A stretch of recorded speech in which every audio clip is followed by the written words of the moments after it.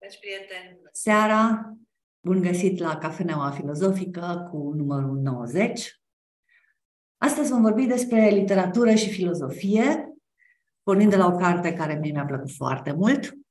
Mi-a plăcut atât de mult încât am simțit nevoia să vorbesc despre ea um, și să aflu mai multe de la autorul ei, Bună seara Mircea Cărtărescu, și de la uh, alți cititori.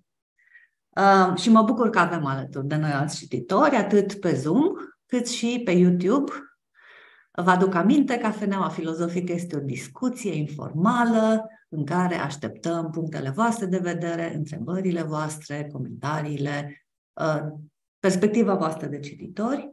Uh, mă bucur că suntem mai mulți, pentru că eu o să vă propun în seara asta perspectiva mea de cititor și s-ar putea să mă bucur să văd că sunt în discuție și altele, pentru că această carte, din câte am văzut, a fost citită în moduri diferite. Unii au văzut romanul Teodoros ca pe o poveste.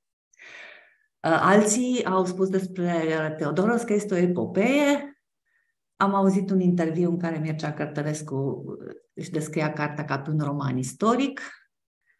Um, eu l-am citit într-o cheie de lectură care era familiară pentru primii dintre moderni de care mă ocup și care este uh, cheia de lectură a traseului inițiatic. O poveste în care eroul trece printr-o serie de încercări, la capătul care ar trebui să-l aștepte înțelepciunea sau salvarea, și cititorii însoțesc cu sufletul la gură uh, eroul prin aceste, pe acest traseu inițiatic, întrebându-se dacă el va fi până la sfârșit salvat sau nu și au tot felul de surprize pentru că, desigur, Mircea Cărtărescu se joacă cu uh, convențiile acestei, acestui tip de literatură sau poate nici măcar nu este în convențiile romanului inițiatic. Mircea Cărtărescu seamănă asta puțin cu ceea ce ați, ce ați urmărit în Teodoros? Mai întâi vreau să spun bună seara tuturor celor care ne ascultă și celor pe care îi văd aici pe acest uh, ecran. Să vă mulțumesc foarte mult, doamna Jalobeanu, pentru invitație. Sunt foarte onorat de această invitație. Auzisem de mult despre această uh, aventură intelectuală pe care o patronați uh, pe acest site, pe acest blog. Așa încât mă bucur că suntem împreună și că putem discuta Ehm, sigur, ehm, sunt foarte flatat că în centrul discuției este romanul meu Teodoros și în legătură cu asta aș vrea să încep deja să vă răspund la întrebare. Într-adevăr, Teodoros este înainte de orice un roman. El nu este, știu eu, ehm, o scriere mai întâi filozofică sau mai întâi sapiențială sau mai întâi Uh, știu eu, uh, un roman, o, o, o cale, o cale de inițiere, uh, ci este o scriere estetică, o scriere făcută pentru plăcerea cititorului, sper eu pentru o plăcere superioară și care, pentru că romanul este un gen devorator prin excelență și nesătul, cuprinde fără îndoială, dincolo de această experiență de pură plăcere care este oferită cititorului, firește că poate cuprinde orice. Uh, un roman de acest fel, pe care eu l-aș numi un roman total, uh, nu e nici primul și probabil nu va fi nici ultimul roman de acest fel pe care l-am scris sau am de gând să-l scriu, un astfel de roman este în așa fel făcut încât în el să poată încăpea cam tot ce dorește autorul. Uh, el este construit în așa fel, ca stomacul unui struț, să spunem, încât să poată înghiți și elemente filozofice, și elemente estetice, și elemente etice, și elemente, aș spune eu, teologice chiar, uh, și de toate celelalte feluri, uh, însă digerându-le și transformându-le pe toate într-o experiență, în primul și în primul rând estetică, în primul, în primul și în primul rând literar. Este un roman uh, uh, pur și simplu, dar mai este și un roman, așa cum ați spus că aș fi spus, uh, un roman istoric și aș adăuga un roman pseudo-istoric. Este un roman pseudo-istoric, este un roman care urmează numai aparent uh, calea obișnuită a, romanului, a romanelor istorice de la Salambo încoace, să spunem, uh, sau la romanele istorice ale lui Thomas Mann, devind însă, aș spune eu, pas cu pas, pagină cu pagină, de la ceea ce noi cu toții, alături de publicul larg, așteptăm de la un roman istoric. Devind de la, uh, știu eu, uh, nevoia de a crea o imagine uh, veridică, dacă se poate științifică, adecvată istoric, să spunem, a diferitelor epoci, devin de la, știu eu, verismul și realismul acestor epoci și adăugând, aș spune eu cu măsură, pentru că asta e important pentru mine, adăugând elemente care nu pot intra în romanul istoric clasic. Adică tot felul de devieri uh, pe care le-aș integra sub umbrela postmodernă, adică anacronisme, voite de toate felurile, uh, jocuri cu limbajul, jocul cu Uh, uh, timpul și spațiul, jocul cu tot felul de astfel de mărgele de sticlă în sensul uh, Castaliei lui Hesse și a lui Goethe. Prin urmare, eu asta am încercat să fac, un roman, în primul rând, dar care nu se sperie nici de o perspectivă sapiențială, nici de o perspectivă istorică, aș spune eu că nu se sperie de niciun fel de perspectivă. Mi-a plăcut imaginea cu stomacul de struț. Hai să vedem ce găsim în stomacul struțului, ce de nestemate se găsesc acolo. Uh, și mi-a plăcut și ideea că, de fapt, în uh, Teodoros, uh, genurile sunt explodate unul după altul. Adică, nu? Dacă cineva te întreabă despre ce e vorba în Teodoros, vine să spui, păi, e povestea clasică a unui băiat sărac care ajunge împărat, Uh, și caută, ca orice erou de poveste, un obiect mitic. Doar că Teodoros al dumneavoastră caută nici mai mult, nici mai puțin decât chivotul legii. Da, cred că el caută mai mult, zic, mai mult decât, deci mai mult decât mai puțin, ca să spun așa, uh, caută în uh, propria sa viață de hârtie, să zicem, caută trei lucruri esențiale, care sunt cele trei axe ale voinței fiecărui, fiecărei persoane, și anume nevoia de putere, nevoia de salvare, în sensul mântuirii teologice, și nevoia de iubire. Acestea sunt cele trei uh, linii pe care uh, încă din junețe personajul meu, care este, nu știu dacă putem numi cartea mea o carte inițiatică, dar este o carte arhetipală. Eu de asta am și ales subiectul acesta. De obicei, subiectul nu este important pentru mine, cel puțin. Importantă e realizarea unei cărți. Dar uh, subiectul este, cum se spune, uh, acea um,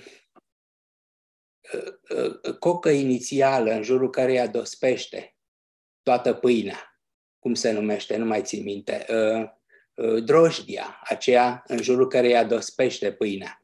Uh, așa încât uh, eu am avut nevoie în centrul acestei cărți de un destin exemplar. Nu în sensul că este un destin minunat și demn de urmat și moral, nici vorbă de așa ceva.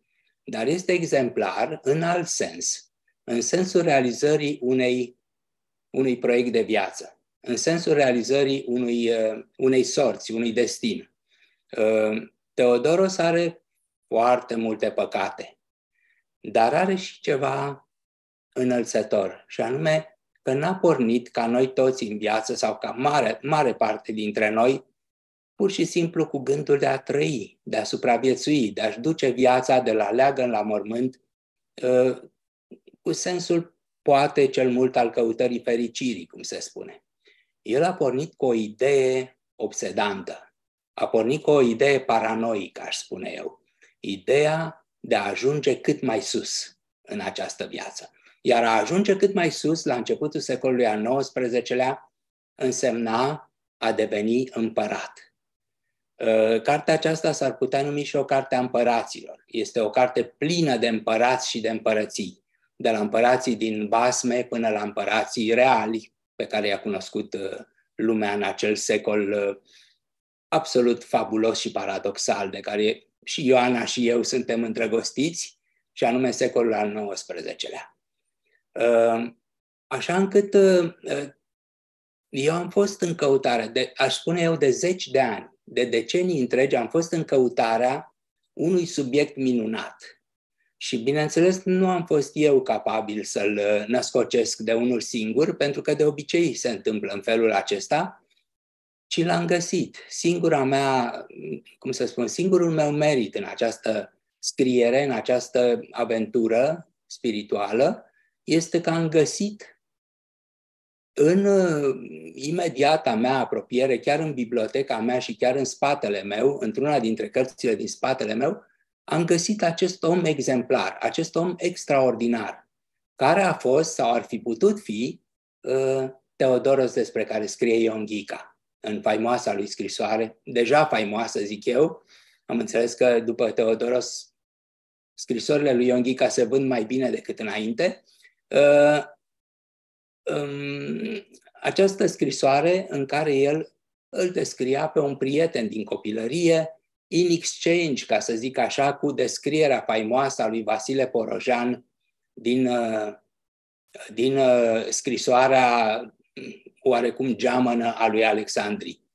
Două personaje foarte umile, uh, două slugi, la curtea unui boier sau a altui boier, Teodoros la curtea tatălui lui uh, Ionghica uh, și care au fiecare un destin ciudat, paradoxal, exemplar, neașteptat.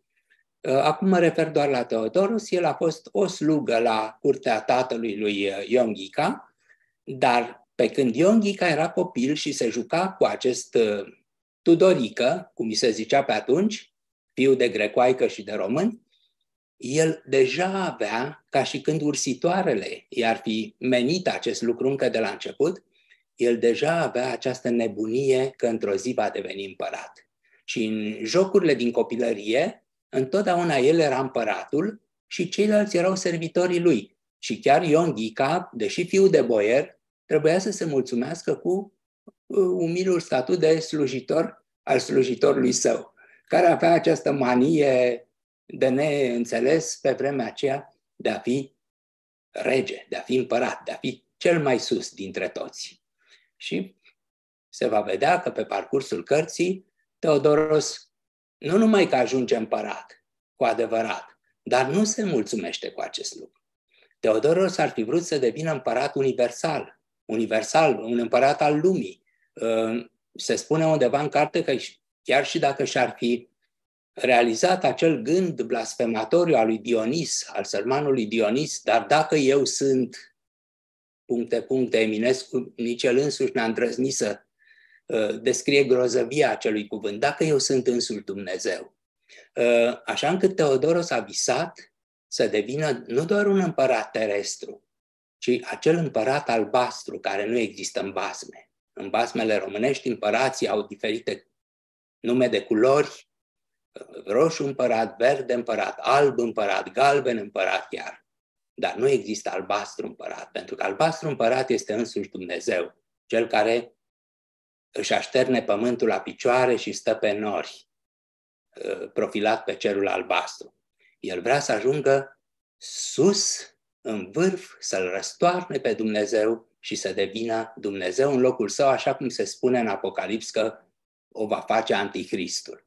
Deci este un om cu o ambiție nu numai omenească, o ambiție nemăsurată, o ambiție dementă, o ambiție nebunească de a fi stăpânul Universului. Asta m-a fascinat la acest personaj. Deci nu e vorba doar de hibrisul celebru de care suferă toți eroii, ci este vorba de... E vorba de diavol? Îi spuneți opusul? Îi spuneți cel blestemat în binecuvântare și binecuvântat în blestem? Da, este triclet și proclet ca, ca în Ion Creangă. Deci toate personajele, firește că dat fiind uh, caracterul acesta picaresc, foarte alunecos al lui Teodoros, uh, firește că nu-l privesc cu ochi bun și îl blamează de multe ori, dar o fac și cu simpatie. Uh, de pildă, un preot al bisericuței din Ghergani îl admonestează pe copilul care e un fel de gavroș, așa, un fel de copil lipsit de, lipsit de stare, Ehm, arătându-i exemplul ehm, lui Skaraoschi căzut din, ehm, din ceruri, ajungând un, un biet diavol și așa mai departe, dar nu o fac cu oroare. Nu o fac cu oroare, o fac cu o anumită, cum să spun, mirare și, și uimire de entomolog, aș spune mai curând. Se uită la el ca la un fel de insectă ciudată, care este și uh, strident colorat, are culori de avertizare, dar este și uh, periculoasă într-un fel.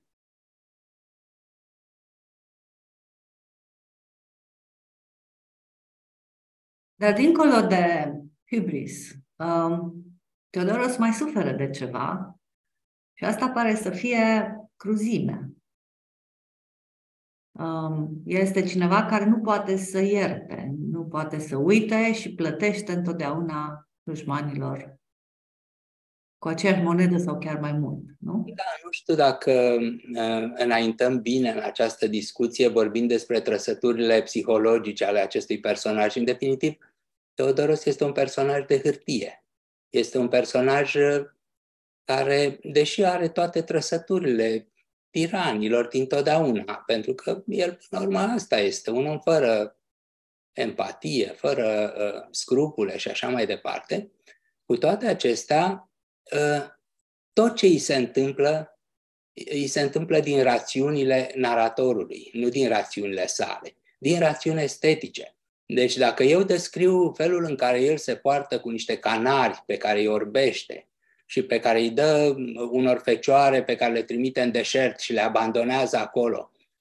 Asta nu este ca să arăt cruzimea acestui personaj. Nu e în primul rând pentru asta, ci să, ca să creezi niște imagini baroce, niște imagini puternice și de neuitat. Uh, nu doar uh, frumosul în sensul uh, de cutie de bomboane este ceea ce înseamnă poeticul. Poeticul înseamnă și cruzime, înseamnă și uh, uh, manifestarea uh, urâtului și așa mai departe. Deci, o să eu... vă cer permisiunea să mai stăm la personaj un pic, o să vorbim și despre poetic. Pentru că Teodoros este și el un autor. Adică o parte din roman nu sunt chiar scrierile lui Teodoros, scrisorile pe care acest personaj le trimite într-o valahie mitică, unei mame din care face un fel de sfânt, sfântă, și aceste scrisori ne prezintă un alt personaj. Da? Este un, Teodoros este cineva care se creează pe sine altfel decât uh, apare în ochii celorlalți. E un da. autor. El însuși este un poetic, nu?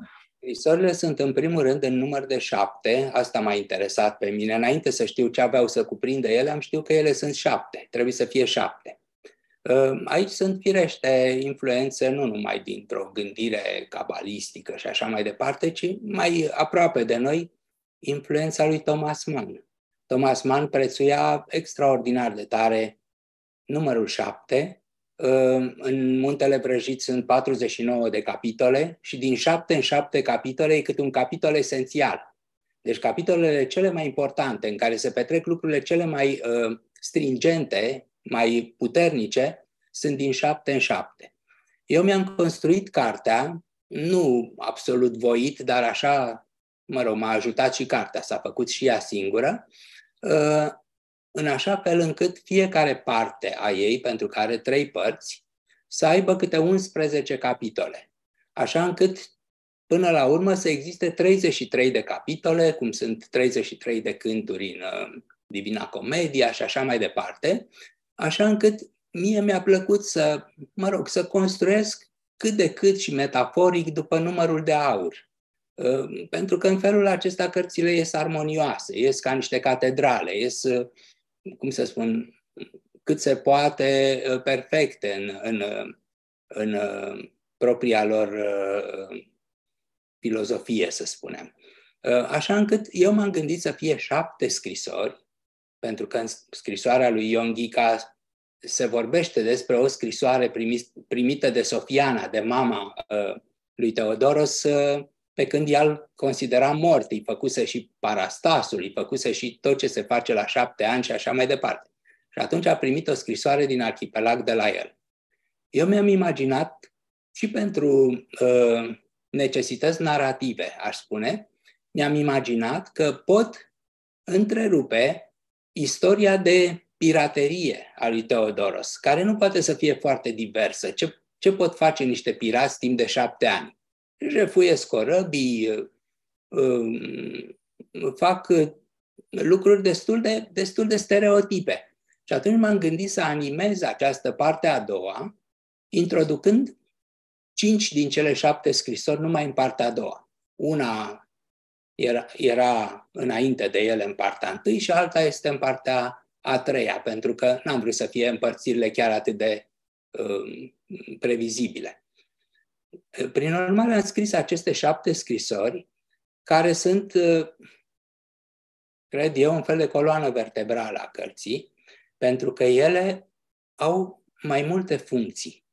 Prima funcție este de, a, de a-l umaniza extraordinar de tare pe personaj. Fără ele, într-adevăr, Teodor s-ar fi fost un monstru sadic tip Dracula sau ceva de felul acesta. Uh, aceste scrisori arată partea sa umană și aș spune eu înduioșătoare. Uh, cea mai puternică dragoste a lui, poate rădăcina sa cea mai, cea mai vie, într-un fel, uh, legătura cu Sofiana. Această legătură umbilicală, aș spune eu, cu propria sa mamă. Uh, Sofiana răspunde acestor scrisori și ei trimite șapte scrisori, dar ele toate sunt cu pagini albe. Pentru că Sofiana credea că iubirea de mamă nu se poate exprima în cuvinte. Și atunci uh, prefera să-i trimită scrisori în care exista o formulă de introducere, prea iubitul meu fiu și așa mai departe, și o formulă de încheiere, iar între ele câteva pagini albe. Dar scrisorile lui Teodoros, firește că nu sunt albe, sunt scrisori scrise într-un anumit grai care le, le diferențiază de restul cărții, în propriul grai al lui Teodoros, care e o combinație de grai al cronicarilor munteni și de grai al, uh, uh, știu eu, uh, predecesorilor munteni ai poeziei sau membrilor munteni ai poeziei pașoptiste ca Bolintineanu și alții, de acest fel, deci este graiul muntenesc combinat cu graiul din secolul al XIX-lea, așa încât este o vorbire destul de artificială, dar pe care eu sper că am făcut-o naturală, că am făcut-o să pară naturală. Și el îi se adresează mamei sale și îi spune minciuni. Uh, fundamental îi spune minciuni. De fapt, uh, piratul avea două nave. Una se numea Aleteia, adică adevărul, și cealaltă se numea Psema, adică minciuna.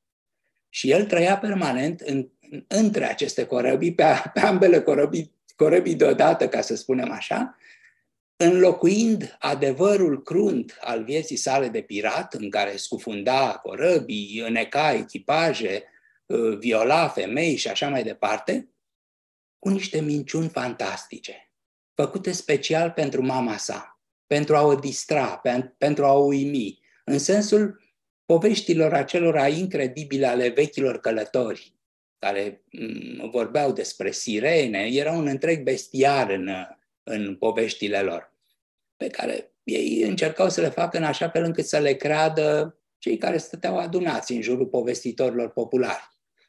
De acest fel este și Teodoros. Teodoros este un povestitor, el însuși, un povestitor talentat, chiar și regina Victoria recunoaște lucrul acesta, îi trimite reginei niște, niște scrisori de mente, pur și simplu, dar foarte simpatice, zic eu, și regina le citește pe ascuns, fiindcă e rușine să le citească pur și simplu. Îl și blamează, spune că este vulgar, că este, știu eu, primitiv, dar îi și plac, pentru că ele seamănă oarecum cu călătoriile lui Gulliver și așa mai departe. sunt scrisori fantastice. Deci încă un lucru pe care, despre care aș mai putea vorbi în privința romanului meu este că e un roman fantastic. Nu e doar istoric sau pseudo-istoric, este și fantastic. Uh, cuprinde nenumărate peripeții și întâmplări incredibile care țin de straniu, de fantastic, de, uh, știu eu, uh, um, feeric și așa mai departe, atingându-se pe alocuri cu basmul, pe alocuri cu literatura populară de tip sapiențial, cu Alexandria, cu uh, Archirie și Anadan, cu Alimaua și așa mai departe. Are și, cartea are și o vocație din aceasta a poveștilor universale, a poveștilor după povești după povești. Dar poveștile, minciunile lui Teodoros, uh, au ceva în comun și anume și ele suferă de hibris. Povestea crește și se umflă și este o hiperbolă și se umflă tot mai tare. Uh, una dintre poveștile mele preferate, una din scrisorile mele preferate, la pagina 221, este răspunde la întrebarea pe care ați spus așa retoric, ce făceau pirații. Era repetitivă activitatea lor și este povestea pictorului de pânză de corabie, Sisoe. Uh, da, uh, Sisoe. Eu l-am făcut pe Sisoe din dragoste pentru pictură. Întotdeauna am avut o dragoste extraordinară pentru pictură. Pictura e una dintre marile mele pasiuni, mai ales pictura clasică, uh, pictura secolelor trecute. Um, ce să spun, în orice oraș ajung, merg în primul rând la pinacotecă, merg în primul rând la muzee.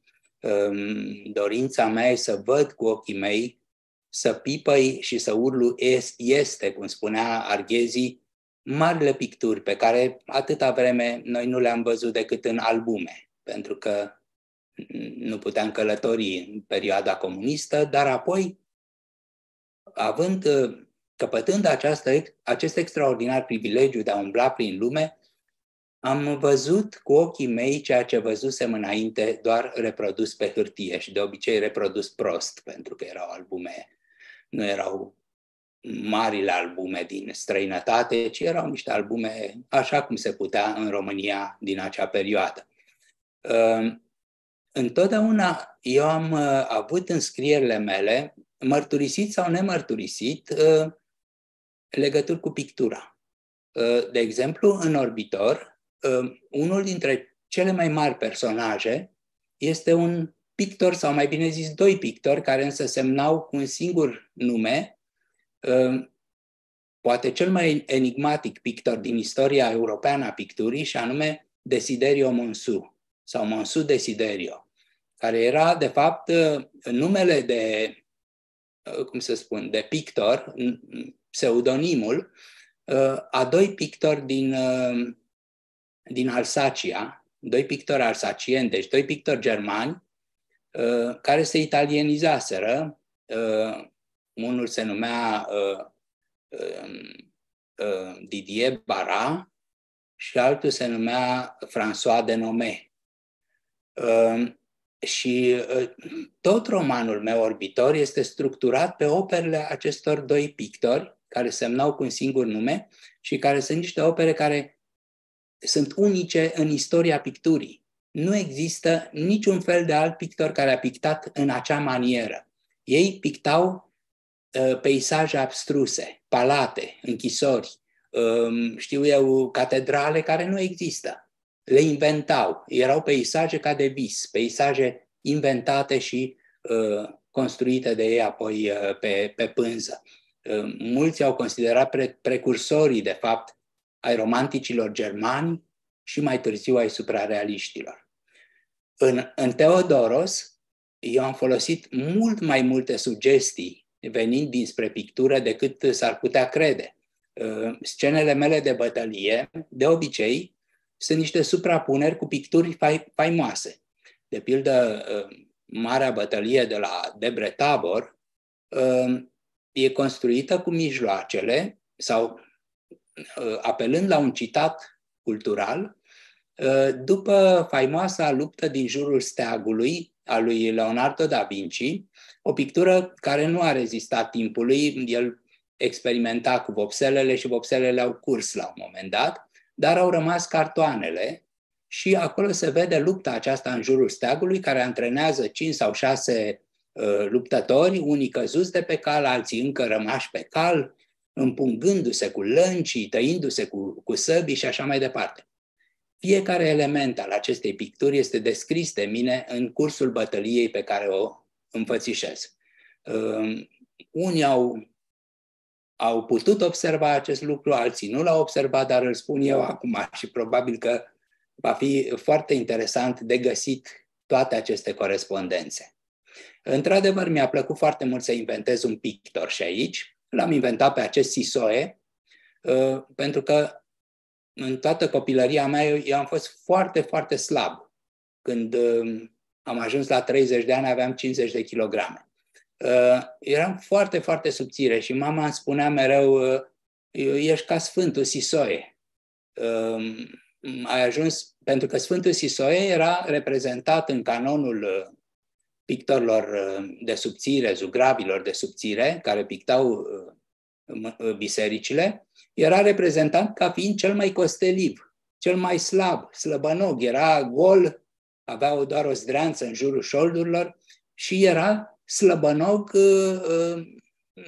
în asemenea hal încât toți oamenii de la țară căpătaseră acest obicei să-i compare pe cei slabi cu Sfântul Sisoie.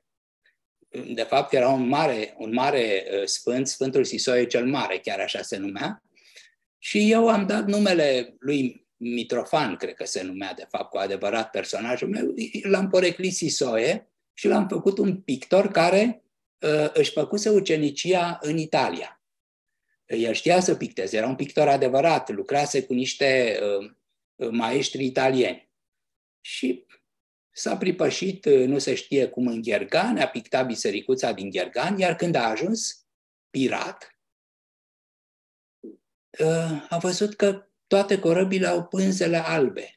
Și s-a părut o, o, o risipă extraordinară, pentru că pânzele acelea, el, el, el nu-și permitea atâta, atâta pânză ca pictor, fiindcă pânzele erau scumpe, pânzele pe care se picta. Și atunci lui a venit ideea să picteze pe pânzele corăbilor. Și a început prin a picta pe pânzele corăbilor proprii, ale piraților, ale Tea, Psema și multe altele, și a făcut scene din acestea de gen, uh, pictură religioasă, punerea în mormânt, resurecția din mormânt, uh, știu eu, scene din viața lui Isus, sau picturi din acestea mai profane, Leda, Leda și Lebăda și tot felul de alte teme din acestea clasice în pictură. Și când uh, au ieșit uh, navele din radă, împodobite în felul acesta, a fost o senzație în tot, în tot uh, arhipelagul grecesc. Și toți armatorii greci și capitanii de corăbii au vrut și ei să aibă pânzele pictate și atunci l-au angajat pe Sisoie să le picteze. Și până la urmă toate pânzele tuturor corăbilor din arhipelag erau pictate. Dar Sisoie nu s-a mulțumit cu asta, ca și Teodoros, el voia să atingă cerul cu mâna. Și a făcut-o aproape literal, văzând că cerul, spre deosebire de bolțile bisericilor, este albastru, este nepictat. Și atunci a angajat o mie de pictori ca să picteze cerul. Și au pictat pe tot cerul, ridicând schele ca uh, uh, Michelangelo în capela Sixtină, a pictat tot cerul ca pe o cupolă de biserică, cu un uriaș pantocrator alcătuit din imaginile tuturor ființelor care există, au existat sau vor exista în, în univers, în întregul univers. Uh, și chiar tot universul de la quarci până la uh, supernove. Um, aceasta a fost opera lui de maestru, ca să zicem așa, și mie mi-a plăcut foarte tare să fac această imagine. Este absolut minunată. A zis că în cer sunt șapte scrisori uh, răspândite în acest volum. Arată ele un parcurs al învățării, al înțelepciunii, devine autorul scrisorilor mai elaborat, mai înțelept, atacă teme mai mari. Cum se gradează cele șapte scrisori?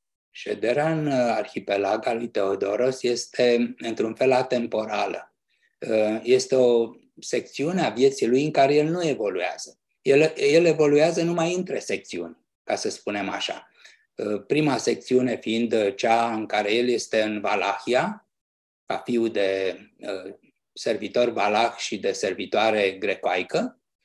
La 19 ani el uh, dispare, se face afantos, cum se zice, nu-l mai vede nimeni, nu mai știe nimeni de soarta lui și apare în arhipelag.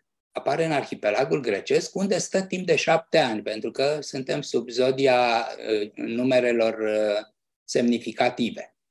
Uh, și el stă aici timp de șapte ani, în care crește, aș spune eu, cantitativ, nu calitativ. Crește în, în celebritate. În, în celebritate nu ne însemnând că a devenit faimos, ci cum spun americanii, infamous.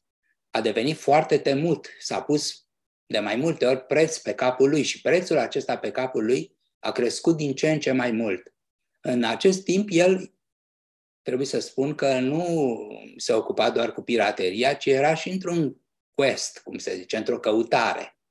El căuta cele șapte iarăși litere ale numelui uh, ascuns al lui Dumnezeu, și anume Savaot. Savaot, acest nume care, uh, mă rog, se află mai curând în tradiția evreiască veche, în tradiția Zoharului, în tradiția, uh, știu eu, uh, uh, altor cărți de acest fel, mistice. Și uh, ideea este că Dumnezeu, care a făcut Uh, lumea în uh, șase zile și a șaptea zi s-a odihnit și a semnat capodopera. Deci și-a semnat numele pe sfera pe care a făcut-o, sfera pământească. Și el a semnat-o pe șapte insule ale arhipelagului grecesc. Insule al căror nume începe cu, mai întâi cu S, apoi cu A, cu V, cu A, cu O, cu T și cu H. Uh, și n-are rost să povestim acum în ce fel și-a căpătat această misiune Teodoros, dar el are această misiune și de fiecare dată merge pe insula respectivă și încearcă să găsească un simbol sacru, adică litera respectivă. Litera S, litera A și așa mai departe. Deci el uh, are o multiplă activitate în, uh, în arhipelag. În primul rând, pradă și fură, în al doilea rând, caută, e angajat în căutarea aceasta mistică și în al treilea rând scrie scrisori mamei sale. Deci nu pierde timpul chiar așa de, chiar așa de rău cum îl pierde cititorul urmărind, urmărindu-i întâmplările. El are treabă, e ocupat în arhipelag. Iar partea a treia îl arată ajungând în sfârșit în locul unde pentru el curge lapte și miere, și anume în Etiopia. În Etiopia, care era numită țara lui Cuș, în, în Antichitatea biblică, și unde el găsește un tron care nu era nici ocupat, nici vacant. Era oarecum între două uh, stări, pentru că exista un împărat uh, legitim din dinastia solomonică, cea mai veche din lume, dar el era un împărat uh, slab, bicisnic și în locul lui domnea un un aghiotant, un aghiotant al acestuia. Și printr-un mecanism uh, anume, um, Teodoros reușește să facă schimb de soartă, așa cum făceau ocnașii în Dostoevski, de pildă, își schimbau soarta unul cu celălalt în lanțurile alea de ocnași, uh, sperând că le va fi mai bine cu soarta camaradului lor de suferință. La fel și uh, Teodoros face schimb de soartă cu un mic prinț local, un mic războinic local, numit Hailu, despre care istoria etiopiană spune că este cel care a devenit cu adevărat împăratul Tevodros al doilea al Etiopiei, face schimb de soartă cu el, acela pleacă și moare în arhipelag sub numele de Teodoros și el, sub numele de Hailu, um, își începe cursa triumfală către tron. Cele patru sau cinci bătălii care sunt descrise de mine cu foarte multă acuratețe și acribie și multă trudă, ca să zic așa, în urma cărora el devine împărat, urcă pe tronul, după ce îi zdrobește pe toți, urcă pe tronul uh, Etiopiei. După care începe perioada lui cruntă, după moartea primei soții, uh, el se, se uh, înrăiește, se animalizează într-un fel, devine un tiran sângeros, înspăimântător și în cele din urmă, la vârsta de 50 de ani, poartă războaie cu regina Angliei, ceea ce a fost o greșeală din partea lui, și fiind învins, cetatea sa de scaun uh, Magdala căzând pradă britanicilor, soldaților britanici, el se sinucide cu pistolul pe care cândva, când erau în relații mai bune, însăși regina Victoria îl dăruise. Și în felul acesta, aproape că se termină existența lui Teodoros, pentru că ea mai are și o codiță finală despre care poate să vorbim în continuare.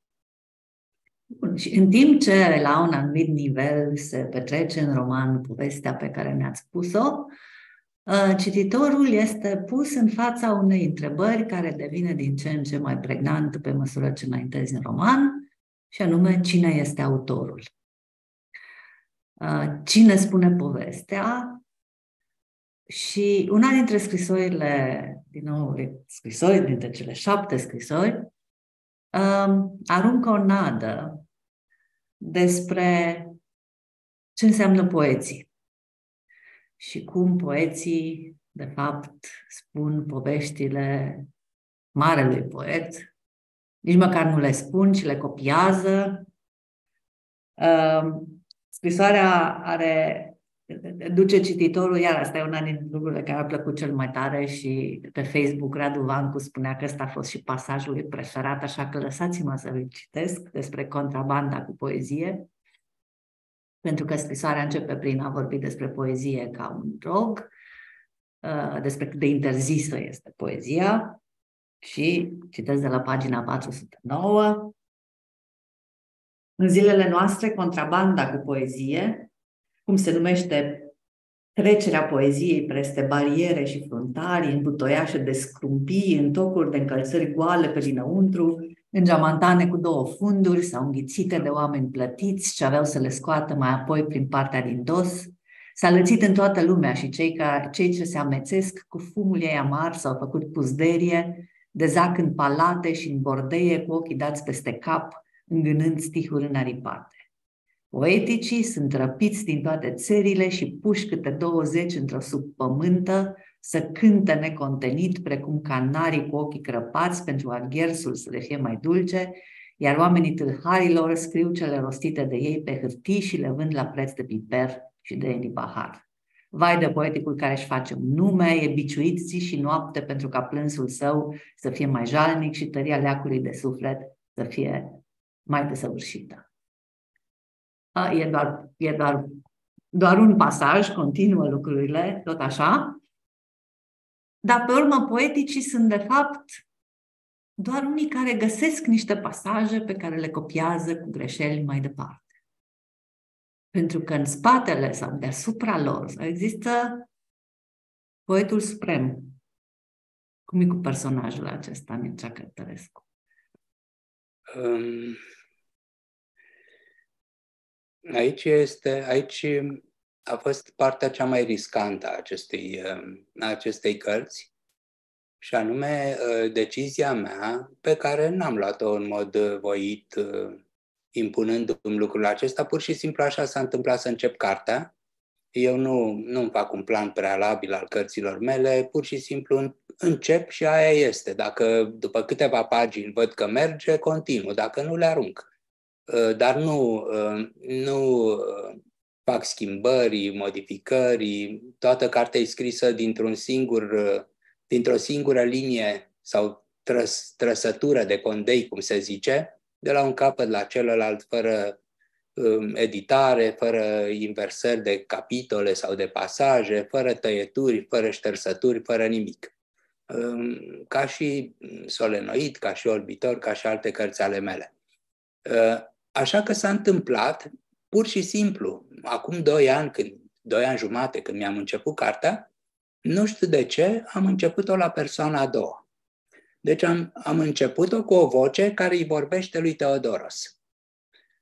Nu este o voce obiectivă de persoana a treia, omniscientă și așa mai departe, ci este o voce etică, să spunem așa. O voce la persoana a doua este o voce etică, este o voce care admonestează sau care mângâie pe creștet sau care, mă rog, se interesează de soarta unui om căruia îi vorbește. Îi dă indicații, îi dă, îl ceartă și așa mai departe. Și dacă am început așa, am continuat așa. Dar ajunsesem la o treime din carte și încă nu știam cine îi vorbește lui Teodoros. Nu vreau să mistific nimic sau să mă dau după deget, nu am știut, pur și simplu. Ăsta este adevărul. Și la un moment dat am vorbit, pe când era vorba despre um, um, Uh, cum se numește, vicleimul de la, Ghergut, de la Sălcuța, uh, am vorbit despre îngerii care erau, se aflau pe un nor sus, deasupra și se uitau la oamenii care uh, participau la acel iar Maroc, la Vicleim, la acea, acel teatru popular. Și deodată, descriind acești îngeri care la început nu aveau decât un rol decorativ erau pur și simplu, era ca decorația naivă a unei biserici, iarăși mă întorc la asta. Erau niște îngeri pe un nor de argint. Deodată mi-am dat seama că vocea aceasta, ca să aibă credibilitate, să nu plictisească, să, adresarea la persoana a doua este extraordinar de artificială. Te poți, poți arunca o carte scrisă la persoana a doua după primele 20 de pagini. Nu e ceva obișnuit nu, nu-ți intră repede în, în, în curba aceea de învățare, cum se zice. Atunci mi-am dat seama că nu eu, naratorul adevărat, trebuia să vorbesc cu această voce, ci că trebuie să interpun între mine și lumea pe care am făcut-o alți naratori, și anume niște intermediari, care nu trebuie să fie nici umani, pentru că Mm, atunci ar, ar contrazice această convenție a, a, toate, a tot științei și a nevoii de a admonesta, dar nu trebuie să fie nici divini. Nu trebuie să fie ca zeii din Iliada, de pildă. Pentru că uh, ei atunci ar, ar controla destinul personajului și eu n-am vrut să fac lucrul acesta, am vrut să-i las destul liber arbitru, ca să, în sfârșit, să introducem și un termen filozofic aici în discuție, dacă toți suntem la cafeneaua filozofică. Așa încât m-am gândit că mesagerii în adevăratul înțeles al cuvântului, în sensul etimologic al cuvântului, sunt îngerii.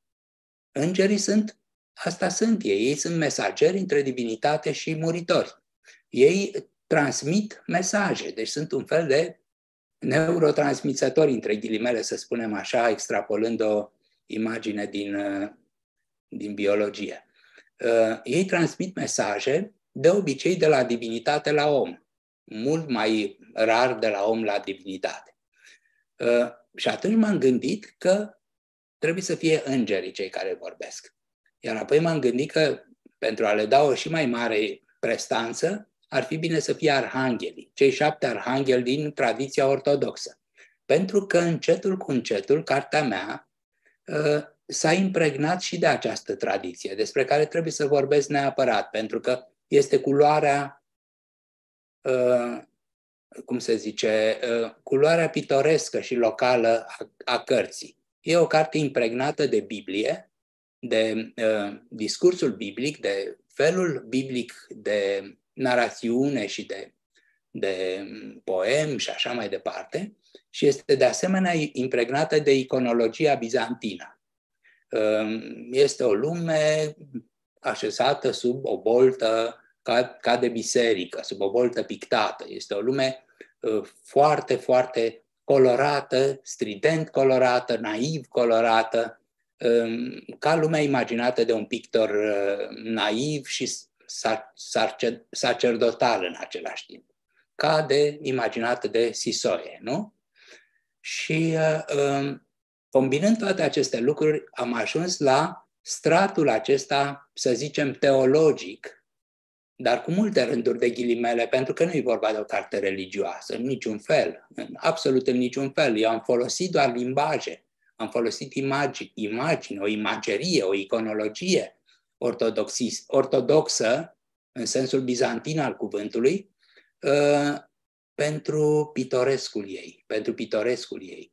Și uh, atunci mi-am dat seama că toate aceste lucruri se potrivesc cu uh, exprimarea la persoana a doua a arhanghelilor și atunci abia spre două treimi din carte mi-am dat seama cum trebuie să se termine cartea, și anume cu o judecată de apoi. Atunci mi-am dat seama și mi-am dat seama cât de nebunesc și de greu este lucrul acesta. Adică aproape că nu se poate face. Asta vreau să spun.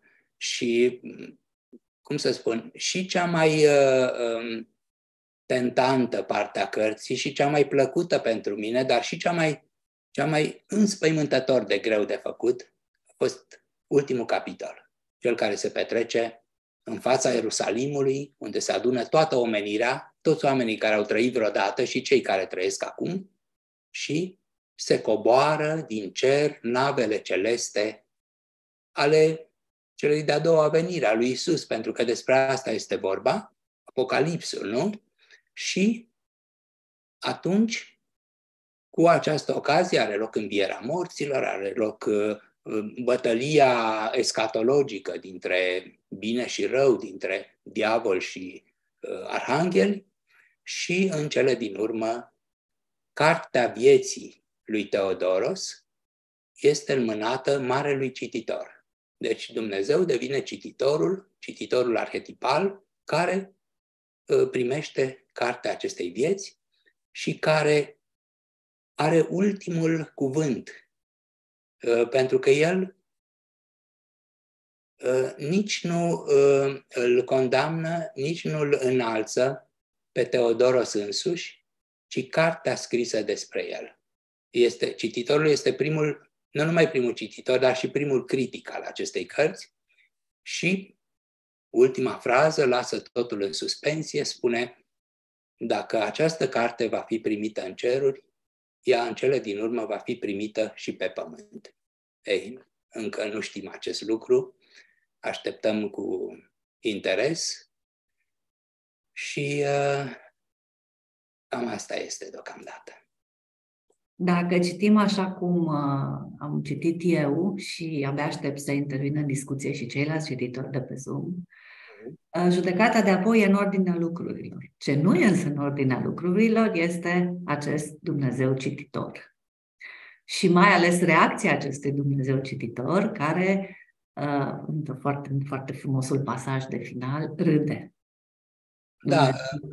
Uh, Teodoros l-a făcut să râdă sau îngerii care au scris Intervenție pentru că abia aștept și eu să intru în dialog cu cei care ne, ne privesc acum și mai ales cu Ioana, uh, pentru că și Iona a Ioanei este o carte foarte asemănătoare, spune eu, și pe care eu o iubesc în mod deosebit, pentru că e o carte cu adevărat sapiențială, este o carte cu adevărat estetică, dar și etică și metafizică, la fel ca și Teodoro. Sunt două cărți aproape îngemănate, aș spune eu, și de asta abia aștept să uh, schimb două vorbe și cu ea. Dar vreau să spun în legătură cu ce, ce spuneați, că Dumnezeu, cel care apare în, în final, nu este uh, a toate, a toate făcătorul și a toate știutorul, Uh, din uh, tradiția creștină, ci este cel din folclorul românesc, este bunul Dumnezeu, este figura aceea de bătrânel blând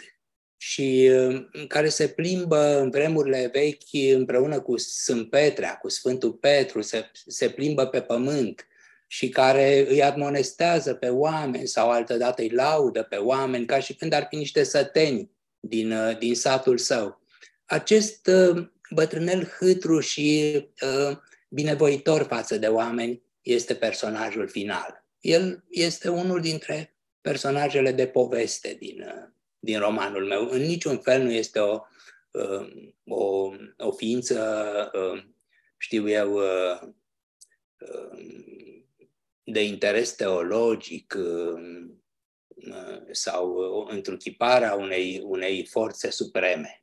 Nu, este Dumnezeul din basmele populare românești. De aceea este hâtru, de aceea râde, de aceea are naivitatea aceea delicioasă a, bătrânului care cu ochelari de baga uh, deslușește literele unei cărți. În tradiția populară a, a pictorilor uh, de biserici, întotdeauna uh, Dumnezeu este reprezentat ca având o carte deschisă în față. De aceea îi se potrivește această, această imagine de cititor. Ioana Prăvulescu. Să-ți deschizi microfonul. Bună seara, am ascultat cu deosebit interes uh, discuția asta. Recunosc că ardeam de nerăbdare să intervin nici colo, pentru că mereu aveam și eu uh, completări de făcut și acum o să încerc să, uh, să mă leg direct de povestea cu Dumnezeu, care m-a interesat și pe mine foarte tare. Uh, nu înainte de a spune că, din punct de vedere narrativ, această uh, transformare a unui tu care părea a fi uh, povestea lui Teodoros despre sine însuși, în, în um, narațiune spusă de Arhanghel, mi s-a părut o găselniță deosebită și dă finalului o coerență de nedescris. Um, de acest Dumnezeu, noi ne lovim, ne-am, ne-am întâlnit cu el încă în Levantul lui Mircea Cărtărescu și chiar am adus, am, adică am adus, am scos din bibliotecă cartea uh, de atunci și am căutat pasajul. Amintiți-vă, vă rog, că la un moment dat uh, Manoil, uh, care este un Teodoros la tinerețe, uh, spune o rugăciune parodiată, bineînțeles, dar rugăciune în sine și apoi permit să citesc, ruga-i fuse primită, căci ieșind pe bocaport, el zări un ochiu nouri stră, străveziu căprui întort către sine mai degrabă. Ce v-am zis? E Dumnezelea. Rețineți, Dumnezelea. E, după care se vede că acel ochi căprui, ce o clipă în poema Isei vii, al lui Dumnezeu nu fuse, ci al meu, care luci uitătură indiscretă între pagine de op. Deci, în Levantul, îl avem uh, pe Dumnezeulea invocat de Manoil, uh, dar uh, el este înlocuit foarte repede cu autorul. Foarte interesantă transformarea care se petrece aici în Teodoros. Pe mine m-a preocupat puțin subiectul acesta al lui Dumnezeu din povești. Îl întâlnim în primul rând în Toderică a lui Negruții, care este o, o poveste de, de pe la 1850 și ceva, și care e înrudit ca nume cu, cu Teodoros. Toderică, um, unde Toderică este un păcătos deloc preocupat de mântuire, un tip uh, care seamănă uh, cu Teodoros, nu cred că Mircea a făcut-o anume, dar el e impregnat de, de tot ce se întâmplă în secolul XIX în literatură și deci vrând nevrând cumva uh, ecourile astea intră și aici. Deci un, un om care joacă cărți, um, um, își petrece viața în desfrânare uh, și la un moment dat are bucuria să-i primească pe Dumnezeu și Sfântul Petru și îi primește foarte bine uh, și uh, beau vin. Sfântul Petru zice că n-a mai băut un vin atât de bun de la nunta din Cana și așa mai departe. Uh, este un Dumnezeu apropiat care, la sfârșit, chiar îl, um, um, îl um, iartă pe Toderică, exact cum Dumnezeu din cartea, din romanul lui Mircea îl iartă pe Teodoros. uh, îl iartă pentru că e, vede ceva la el, bunătatea. Nu e cazul cu Teodoros. Dar în orice caz, Sfântul Petru este cel care e neiertător și Dumnezeu este cel iertător. Uh, de asemenea, în foarte în poveștile lui Creangă apare acest Dumnezeu uh, și um, uh, este întotdeauna un Dumnezeu care e peste judecata umană obișnuită. Este un Dumnezeu care vede altfel lucrurile și foarte omenos, foarte omenos. Ei, în Teodoros, Dumnezeu se transformă din ce fusese în Levantul, autorul, ochiul autorului era de fapt ochiul lui Dumnezeu acolo, în cititor, în atoatele, care este marele cititor. Este foarte interesantă, după părerea mea, această metamorfoză de la autor către cititor.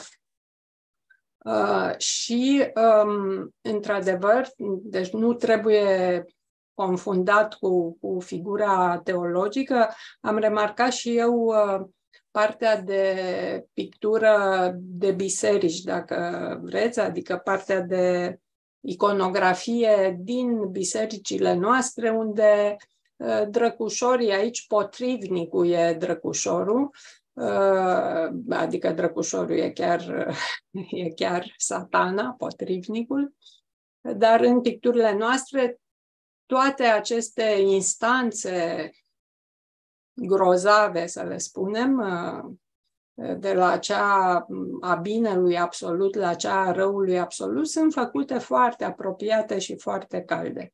Așadar, uh, um, e un lucru care i-a reușit lui Mircea extraordinar și am și o comparație Uh, dacă comparăm acest final cu finalul din uh, cimitirul Buna Vestire al lui Tudor Arghezi, acolo se petrece o altă înviere din... Uh, bun, aici nu e înviere, dar e tot partea de judecată de apoi, deci mm, ceva final. Acolo se petrece învierea și este ratată. Deci, un roman foarte bun care este cimitirul Bunavestire, mie poate că îmi place cel mai mult din interbelii, uh, devine uh, ratat din cauza finalului. Arghezi, care e un scritor care ratează atât de rar, uh, a ratat partea asta, deși el era extraordinar de în temă cu teologia, după cum bine știm. Uh, culmea este că nu i-a, nu i-a reușit învierea, ba chiar a căzut în ridicol pe alocuri, că acolo vine Vlad Țepeș, vine mm, parcă și Eminescu, nici nu mai știu, tot felul de mari figuri și uh, totul cade în, în, într-un derizoriu.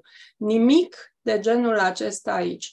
Nu, uh, totul e de o coerență și de o acest final dă, dă o întorsătură atât de frumoasă întregului roman, încât ne uh, îi, îi redă dimensiunile. Îi redă dimensiunile. Uh, și le redă într-un fel în care ne simțim aproape. Pentru că, până la urmă, dacă Teodoros este iertat, um, cumva oamenii se simt și ei în măsură să fie iertați. Adică, într-un fel, este un, este un mod de a, um, tocmai în ziua de azi, când uh, reîncep uh, tot felul de radicalisme și de atitudini de astea intransigente la toate nivelurile, cartea asta uh, dă un fel de stare de bine, de iertare, de, uh, de omenesc extrem de profund. Un omenesc extrem de profund în care omul se străduiește, greșește, păcătuiește, comite tot felul de lucruri, dar are și o șansă să fie la urmă măcar înțeles, să se râdă pe seama a ceea ce a făcut el și să fie poate și iertat și să se ierte pe sine. Deci uh, mi-a plăcut foarte, foarte mult cum a adus-o din Condei, cum a întors-o din Condei Mircea. Bine, el toate, în toate romanele lui are construcții din astea care la, la urmă se leagă, uh, dar aici parcă mi se par mai, mai limpezi, cu atât mai mult cu cât, firește, partea asta lipsește din uh, Uh, din toate poveștile despre Teodoros. N-am să reiau acum, am vorbit la facultate despre faptul că în secolul XIX Teodoros era o figură destul de cunoscută, povestea lui era cunoscută și în interbelic de asemenea povestea lui Teodoros era cunoscută și au scris despre el foarte mulți oameni, de la Adrian Maniu până la Călinescu, dar foarte pe scurt au scris. Uh, aici, partea asta de fapt tot, totul e să faci dintr-o pagină cât are povestea lui Teodoro sau 10 cât are la uh, Ghica să faci 600 de pagini, sigur că înseamnă că pui totul de la tine, dar Mircea a păstrat totuși firul narrativ, uh, dar i-a dat în felul acesta alte dimensiuni.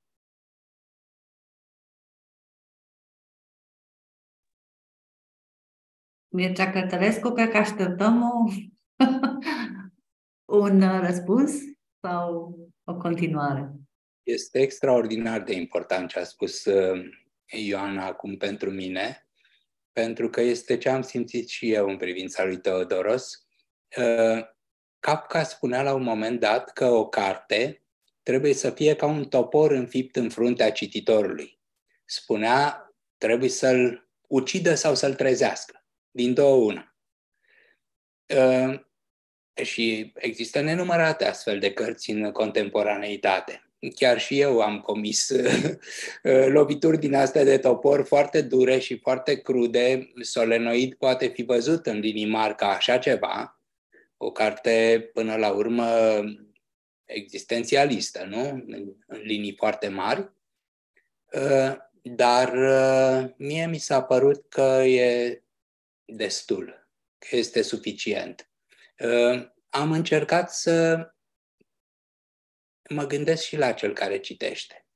Uh, am încercat să-i acord și lui mai multe șanse decât, decât îi acordam înainte, pentru că uh, până la Solenoid eu am fost un, un autor fără niciun fel de compromisuri, un autor foarte dur, nu pentru oricine, aș spune, Uh, mi-am păstrat o anumită, um, cum să spun, uh, um, uh, consecvență în a violenta cititorul. În sensul pozitiv al cuvântului, credeam eu și cred și acum.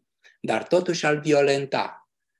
Și poate este unul dintre motivele pentru care scrierile mele nu au fost foarte citite de foarte mulți oameni cu câteva excepții care nu erau așa. Uh, mi se pare acum că Teodoros, care înseamnă darul lui Dumnezeu, a fost un dar care mi s-a făcut mie, în primul rând, uh, și pentru care sunt extraordinar de recunoscător. Uh, faptul că după 40 de ani de când mă gândesc la această carte, în sfârșit mi s-a permis să o scriu, Uh, este una dintre, unul dintre miracolele vieții mele. Și în al doilea rând, uh, este o carte orientată foarte puternic, așa cum am și spus-o, către cititor. Celelalte cărți ale mele, care sunt, uh, cum să spun, de luat în considerare, așa, erau orientate către mine însumi, către primul și esențial singurul lor cititor. Teodoros este pentru toată lumea. Ă, asta este o mare diferență și un mare punct de cotitură în, în scrisul meu, în romanele mele, pentru că Ioana are dreptate, Levantul era și el așa, într-un fel, ă, dar în romanele mele e un punct de cotitură. Este o carte mult mai ă, comestibilă, să spun așa, pentru cititor. Aproape că aș spune că oricine cât de cât instruit o poate citi. um, sigur trebuie să treacă de șocul primelor pagini, care sunt uvertura romanului. Cum știți, o uvertură este o, um, un rezumat sintetic a ceea ce urmează în opera respectivă, în opereta respectivă, etc. Deci o, o uvertură este un amalgam de teme și de motive. Și de aceea uh, uneori este greu de ascultat, pentru că este o, un racursi sau o anamorfoză a întregii opere care urmează. La fel și primul capitol din această carte este uh, scris uh, într-o formă sintetică, într-o formă foarte concentrată.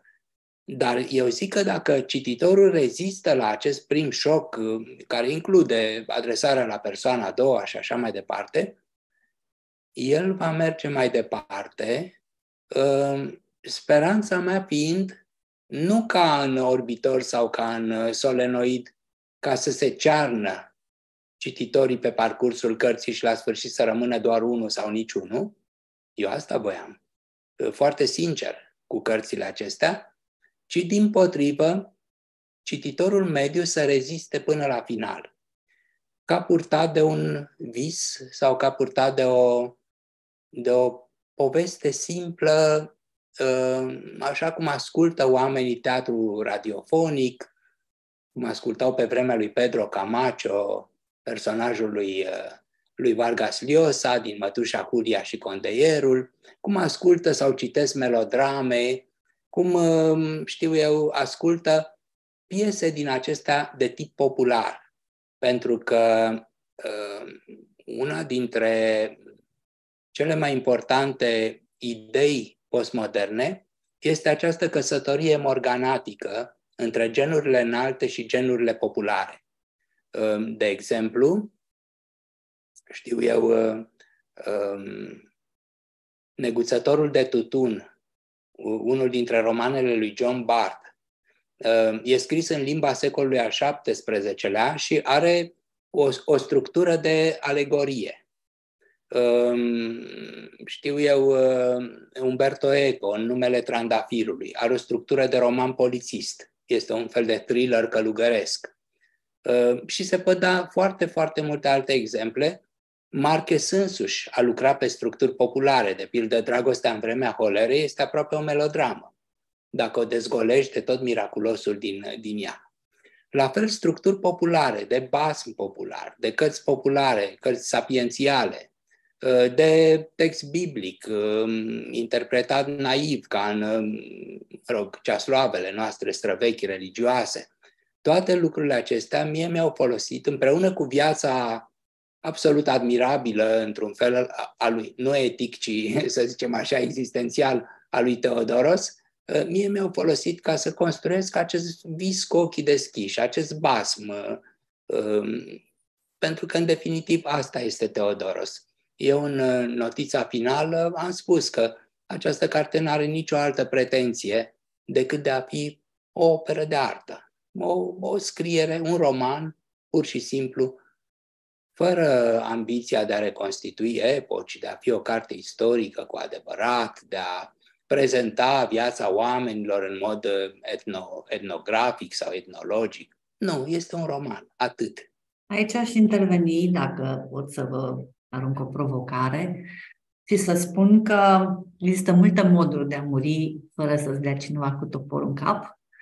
Aceasta nu este o carte care îți înfige un topor în cap, este o carte care ducându-te frumos, așa cum ați spus, pe aripi de povești, ă, te lasă cu o travă în suflet, cu o travă cu efect întârziat, care e acolo, o neliniște permanentă, mă rog, o neliniște care rămâi.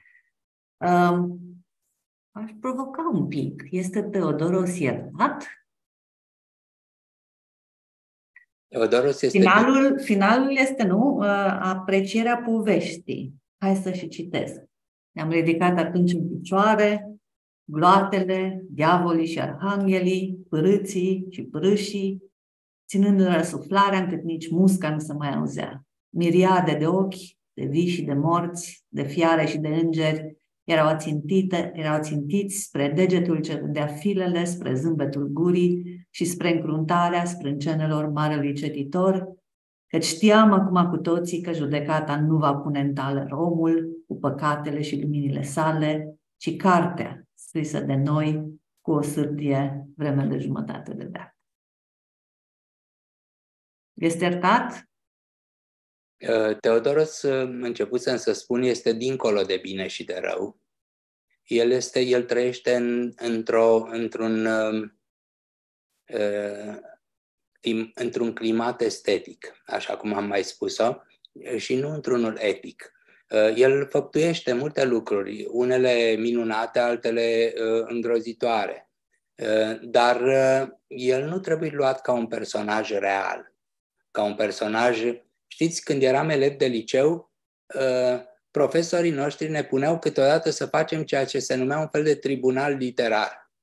Nu știu dacă cunoașteți acest obicei, care mie mi se părea deosebit de tâmpit pe atunci și îmi mențin părerea și acum. Și anume, o luau pe, pe Vitoria Lipan sau pe mai știu eu cine și uh, făceau un tribunal adevărat în care ori îi condamnau, ori îi achitau. Pe uh, Uh, așa zi și oameni, ca și când ar fi fost oameni vii, uh, care erau personajele literare. Oare a fost, uh, cine să spun, Fred Vasiliu, Fred Vasilescu, iertați-mă, Fred Vasilescu a fost, s-a sinucis sau a fost un accident de avion, oare putem să o iertăm sau să o condamnăm pe doamna T și așa mai departe. Ei, toate aceste lucruri uh, sunt niște naivități. Sunt niște naivități, e ca și când personajele ar fi niște oameni din, uh, din realitate. De fapt, personajele trăiesc într-o lume ficțională unde condamnarea sau, uh, din potrivă, salvarea nu are niciun sens. Cartea este așa cum este. De aceea aș putea extrapola gândindu-ne că și, și lumea noastră este o operă de artă, este o creație, și atunci, evident, ne-am dat seama că și noi suntem, într-un fel, nici, nu suntem, de fapt, nici condamnați, nici judecați, nici achitați de nimeni decât de propria noastră conștiință. Uh, așa încât, uh, uh, nu știu, nu știu ce să vă răspund la întrebarea aceasta decât cu ce am răspuns. Păi uite, de pildă am putea să ne întrebăm um, asupra cui se manifestă judecata așa cum e, cea literară. Da. Uh, pentru că nu, așa cum a zis, cartea e scrisă de un personaj colectiv. Da. Și uh, acestui Dumnezeu al poveștii, despre care ați vorbit așa frumos și a vorbit și Ana Prăbulescu așa frumos, îi se contrapune un uh, alt personaj care stă pe osia lumii și care se numește Ingana Morte. Bătrânul da. care se ține de osia lumii și scrie toate poveștile. Știți, și Ingana Morte și uh, împăratul Statelor Unite, uh, Joshua, Abraham Joshua Norton, uh, au fost uh, personaje care au trăit în realitate. Eu nu le-am inventat, uh, ci doar le-am folosit. Într-un fel, uh, am găsit în istoria secolului al XIX-lea nenumărați, nenumărați oameni excentrici, figuri din acestea foarte ciudate și nenumărate fapte ciudate, ca de pildă aducerea girafei din Africa până în, uh, până în Paris uh, și multe alte lucruri de felul acesta. Ingana Morte ăsta, pentru că l-ați numit, era un personaj care, asemenea altora din secolele 17, 18, 19, aveau legenda că, de fapt, erau nemuritoare. Se vorbea despre acest Inganamorte. Inganamorte chiar asta înseamnă, cel care uh, sfidează moartea. Uh, și care fusese un personaj care fusese văzut și după 200 de ani de la moartea lui, uh, mai sunt câțiva de felul acesta în, în ima, in, în imageria, în imaginarul colectiv uh, din secolele trecute. Uh, iarăși, uh, um, ideea de salvare sau de condamnare nu are ce căuta în acest roman. În acest roman nu este salvat nimeni și nu este condamnat nimeni. dar, să zicem așa, meta-literar și meta-estetic, fără îndoială că cea, cea salvată sau cea condamnată va fi cartea însăși. Și ea va fi citită și judecată și condamnată sau salvată, iubită poate chiar, de cititori, de fiecare cititor căr- căruia sau căreia îi cade în mână. În Gara Morte e mai mult decât, nu e nemuritor în povestea uh, dintr-una dintre scrisori, sau, mă rog, e, e poate și nemuritor, dar nu asta e principala lui uh, calitate. El este cel care scrie toate textele care au fost vreodată scrise, cea de la masă Gârbov, cu pana în mână, și nu face altceva decât să scrie, negrind hârtia cu cerneala de sepie din călimara dinaintea sa, iar filele odată scrise le îmbrăștie în vânt, căzând unele în mare, altele suflate de boreu către ținuturi îndepărtate, altele culese de marinar de pe punțile goletelor și bricurilor ce străbat mările. Ce minune să pui mâna pe una dintre ele. Doar că datorința ta de-abia acum începe, că scrie în filele acestea, găsindu-le, că trebuie să le scrii și tu în tocmai de 10 ori.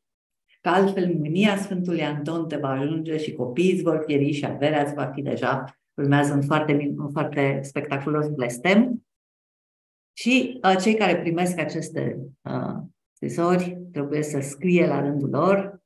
În această acțiune de copiere apar greșelile, și greșelile se fac după felul fiecăruia de a fi.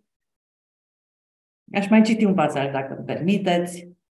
Tremurând de frica blestemelor, dar și lăcomindu-se la binecuvântări, cei ce aflau filele le scriau de zece ori, dar nu în tocmai ca primele, ci cu greșeli, căci erau mai cu seamă oameni fără multă carte, încât la a 20-a copiere înțelesul filei începea să se schimbe, iar la 50-a se schimba în cu totul altceva, uneori în vorbe fără rost, alteori în profeții ce îți ridicau părul de pe brațe, dar mai cu seamă în povești, țărână de povești, povești nenumărate, ce se făceau singure numai din greșelile adunate fără număr.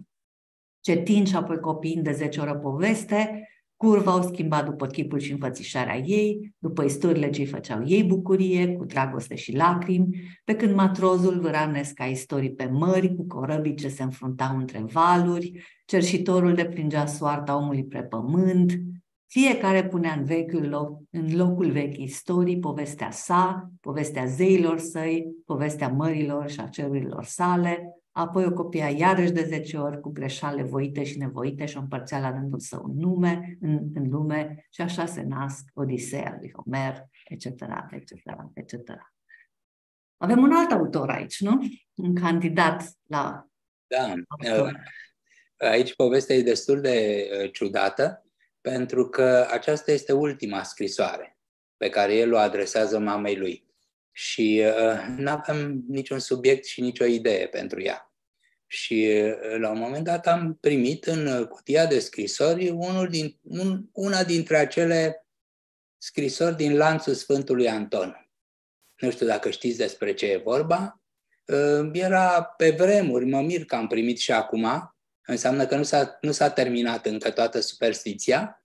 Uh, primeai o scrisoare. Dacă vei trimite această scrisoare la 10 oameni cunoscuți, vei fi imediat, uh, uh, știu eu, binecuvântat, cu, vei primi, nu știu, tot ce-ți dorești și așa mai departe. Dar dacă nu vei trimite, o să-ți ardă casa, o să se întâmple toate nenorocirile.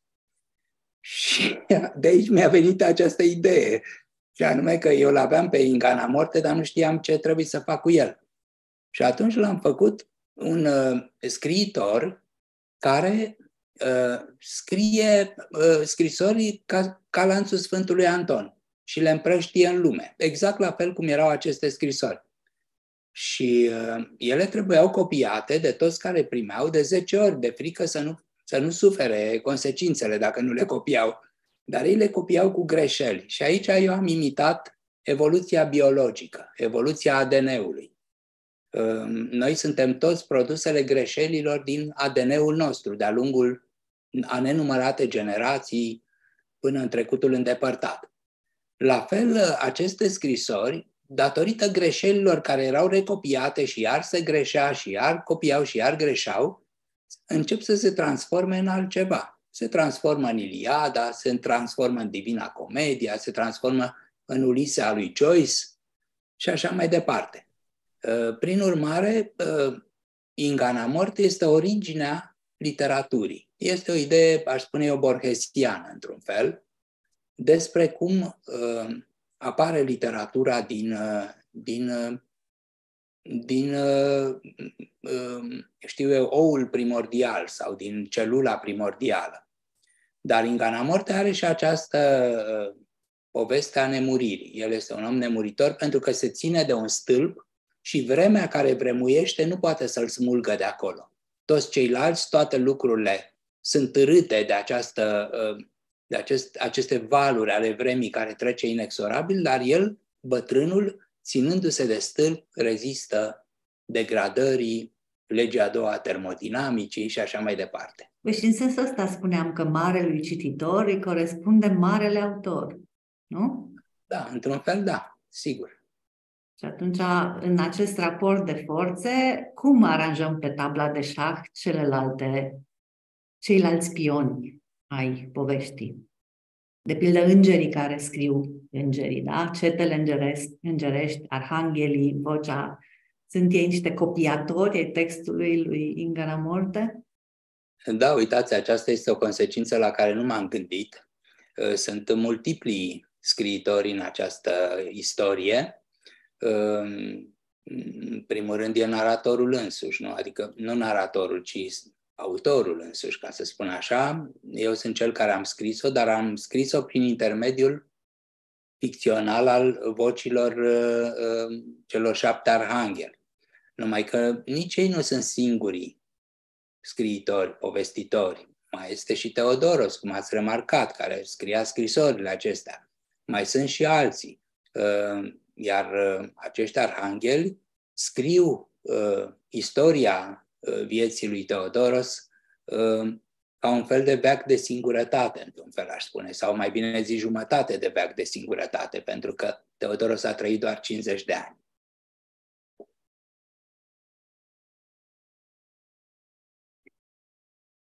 Oricum, eu m-am distrat foarte tare scriind cartea asta, mai mult decât cred că orice altă carte de-a mea, în afară de Levantul, iarăși.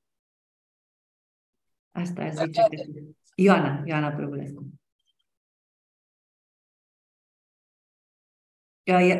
Da, voiam să, voiam să spun că se vede, se vede că, că i-a făcut plăcere scriind și um, până la urmă cititorul e, în primul rând aș vrea să spun că nu sunt de acord că cititorul e aici s-a stabilit a toatele. Deci cititorul uh, are drept să spună mai degrabă decât autorul ce este.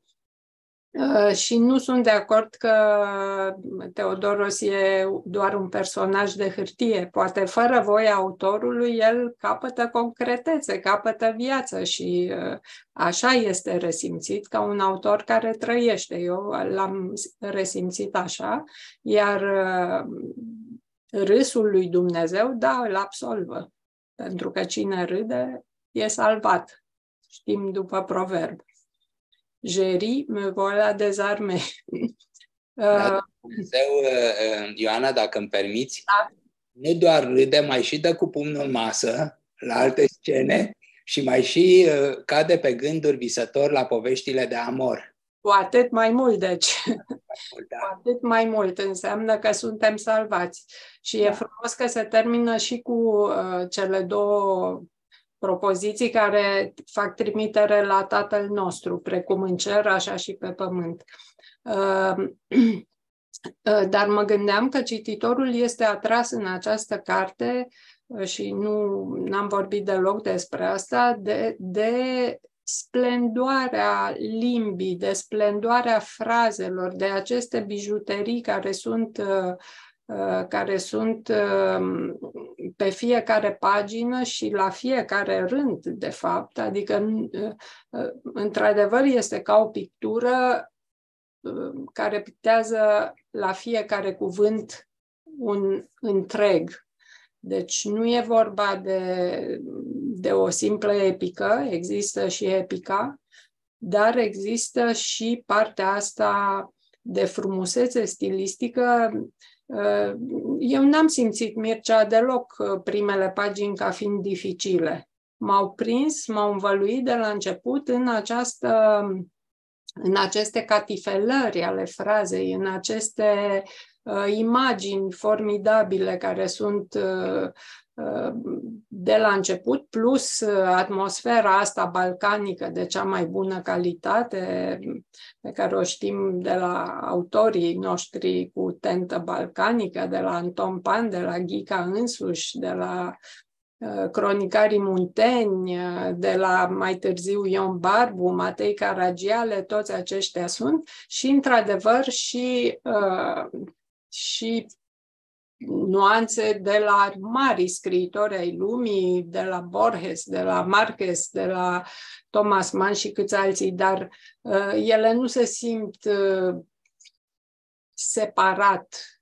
Sunt toate mixtate și învăluite și uh, învăluitoare, de fapt, și omogenizate. Omogenizate într-o carte care nu are nimic uh, strident și uh, supărător și, până la urmă, da, contează foarte mult cum spui niște lucruri, nu numai ce spui. Dar uh, ce voiam să punctez este asta că Teodoros are viață vrei, nu vrei, el nu, nu mai e de hârtie. Scapă, iese din hârtie, iese din hârtie și se face om.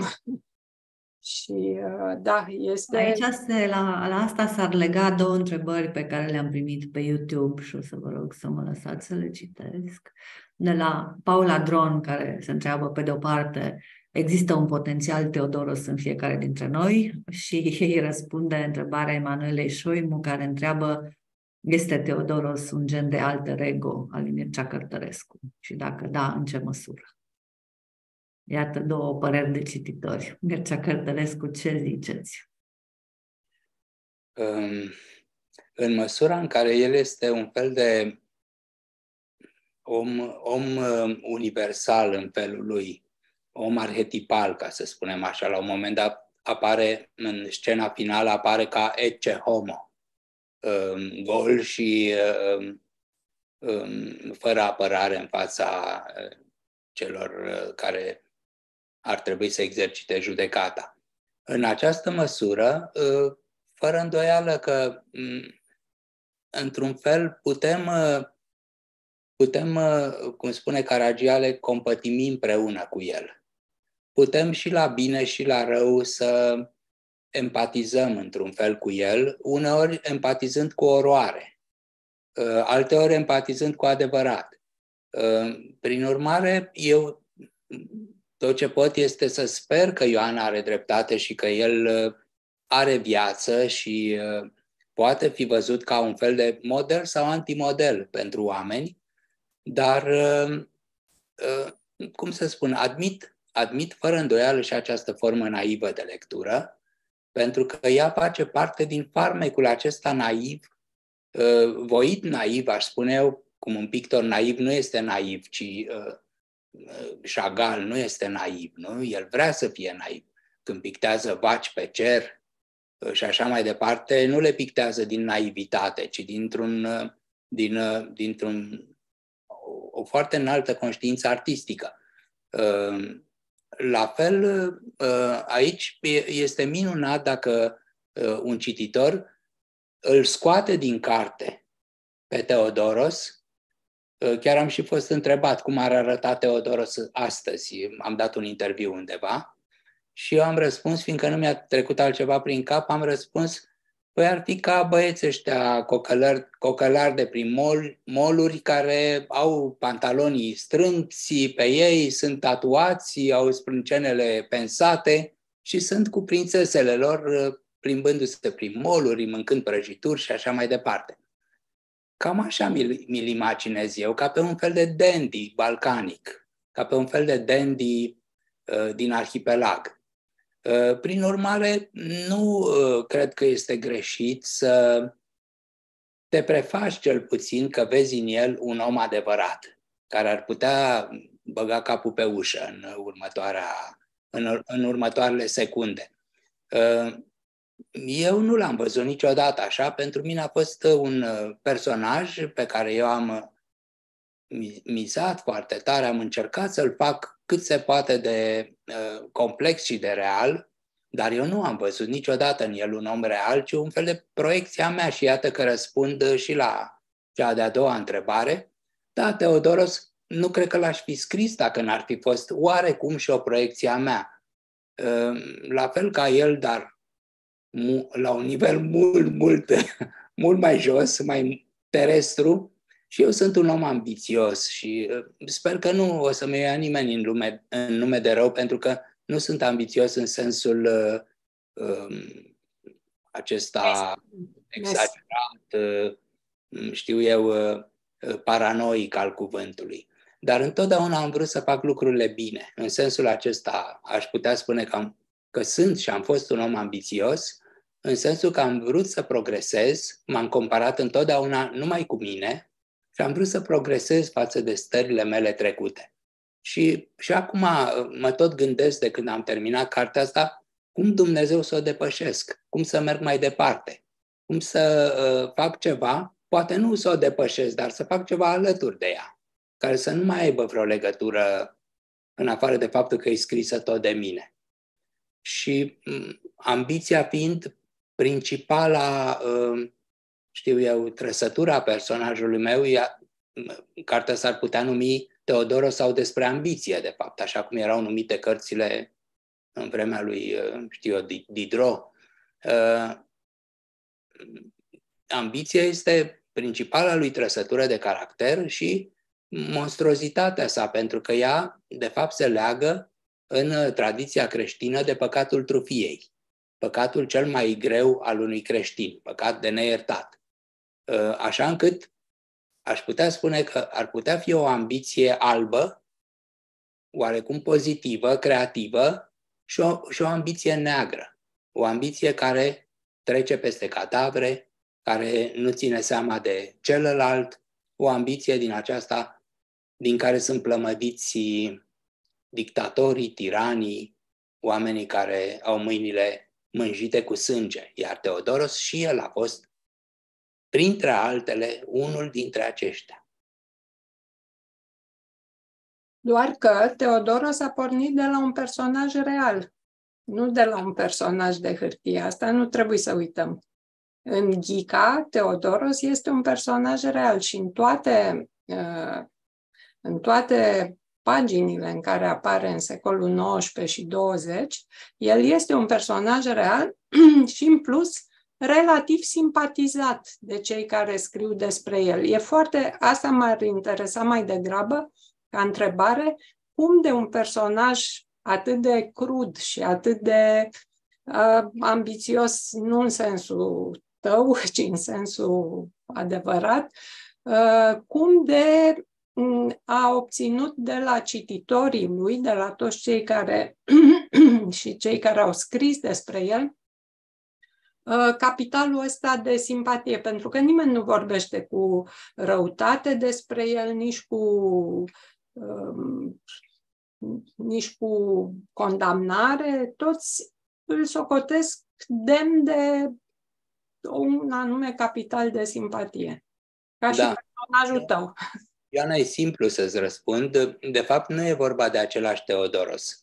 Uh, unul este Teodoros din povestea lui, lui Ionghica, și poate din niște menționări ale lui Alexandrii, uh, și anume acea slugă despre care vorbeam, cu care se juca Ion Ghica în copilărie și care până la 19 ani a stat la Ghergani și la București într-o perioadă, slujindu-l pe tatăl lui Ion Ghica și apoi a dispărut. După, 19, după vârsta de 19 ani, n-a mai știut nimeni de el până se zice că mama lui ar fi primit o scrisoare. Iar celălalt la care se referă ceilalți autori, și în secolul XIX și în interbelic, este de fapt împăratul Tevodros al II-lea al Etiopiei, iarăși un personaj real și care nu are legătură cu primul. Este doar o speculație a lui Ionghica că Teodoros Tudorică, pe care îl cunoscuse el, ar fi putut deveni împăratul Etiopiei. De fapt, nu există nici cea mai mică posibilitate istorică sau cel mai mic adevăr istoric în această speculație. N-are nicio legătură. Împăratul Tevodros al doilea este foarte bine documentat. Se știe toată istoria lui, tot ce a făcut de-a lungul timpului. Deci eu nu am nicio clipă n-am insinuat că ar putea fi ceva adevărat în povestea mea. Povestea mea este o dezvoltare ficțională de contraistorie sau, mă rog, o, o istorie contrafactuală, ca să zicem așa. Împăratul Tevodros al doilea este altcineva decât Tudor din, din romanul meu. Este un împărat, unul dintre cei mai mari împărați ai, Etio- ai Etiopiei, un om care a început de foarte jos, era un mic prinț local și care, printr-o harismă extraordinară și o forță de luptător extraordinară, a reușit să își distrugă toți uh, concurenții la împărăție și să pună mâna pe tron, deși nu avea dreptul la acest tron, pentru că el nu era din os, din osul lui Solomon. Deci nu făcea parte din dinastia solomonică. Um, așa încât el a fost văzut până la sfârșitul vieții sale ca un uzurpator al tronului, dar în același timp uh, a fost atât de mare și de puternic și de crud și de tiranic, încât a rămas uh, cum a rămas Ștefan cel Mare la noi, uh, deși n-a fost niciun fel un model um, de urmat, demn de urmat, totuși a rămas ca o figură mare de conducător, de voievod și așa mai departe. La fel este și de Vodros al doilea. De aceea îl priveau cu simpatie, pentru că în acea vreme el încă nu și arătase tipul uh, de fiară. Abia în ultimii 10 ani ai domniei, uh, de la 1855 la 1865 sau așa ceva, el a devenit tiranul, dictatorul sângeros care a rămas în istorie în cele din urmă. Aș vrea să vorbim puțin, uh, Lucian, am văzut imediat, aș vrea să vorbim puțin imediat și despre limba acestui roman. Cam cât mai uh, durează, te rog? Mai durează un sfert de oră, deci ne apropiem de final. Uh, avem o, am oprit o provocare pe YouTube de la Tiberiu Tot, care nu este însă, cred, pentru Mircea Cărtărescu, ci mai degrabă pentru cei care ne ascultă, cititorii care sunt aici cu noi, pentru că Tiberiu Tot întreabă cum citesc tinerii de astăzi. Pot citi uh, aceste fraze foarte lungi, pot citi, uh, nu cumva ei se așteaptă la un alt tip de limbă, la o limbă mai simplă, uh, subiect predicat punct, subiect predicat punct. Dacă avem tineri printre noi, uh, tinerii de azi, Tiberiu tot spune cei care nu sunt studenți la litere, poate ne lăsați un cuvânt în direcția asta, și dintre cei de pe Zoom avem o întrebare de la Lucian Ancu și avem o întrebare de la Florin Acu. Nu știu exact în ce ordine. Hai, Lucian, începe tu și apoi eh, domnul Acu. La, la mine nu este vorba despre o întrebare, este, vreau să împărtășesc modul în care m-a lovit toporul, de care spunea domnul Cărtărescu.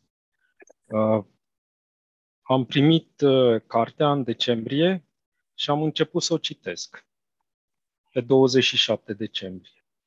Și am citit o pagină, am citit două și apoi a început să se audă în capul meu, bum, bum, bum.